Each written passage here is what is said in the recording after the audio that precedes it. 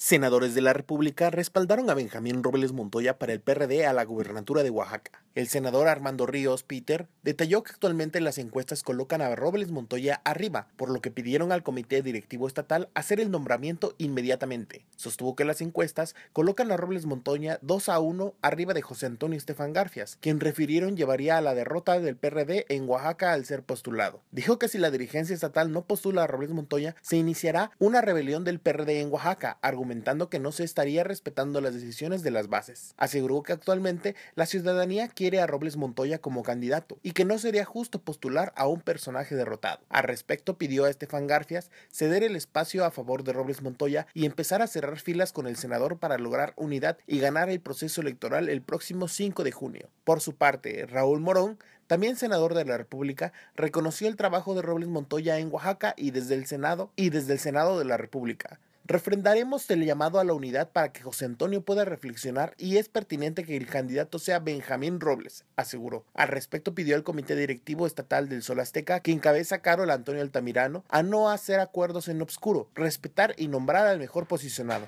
Indicó que la intención de su visita a Oaxaca es en respaldo al candidato y permitir el triunfo del PRD. Sobre el mensaje de Carol Antonio Altamirano a senadores de no intervenir en el proceso interno, los legisladores dijeron que son respetuosos y que su mensaje es a favor de un aspirante. Indicaron que su petición es de acuerdo a cuatro encuestadoras nacionales, entre ellas Parametría y Mitoski. Los senadores indicaron que son alrededor de ocho senadores quienes respaldan a Robles Montoya.